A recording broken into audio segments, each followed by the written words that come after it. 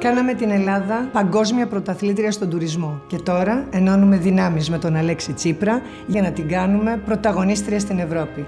Είμαι η Έλενα Κουντουρά, υποψήφια Ευρωβουλευτής με τον ΣΥΡΙΖΑ Προοδευτική Συμμαχία.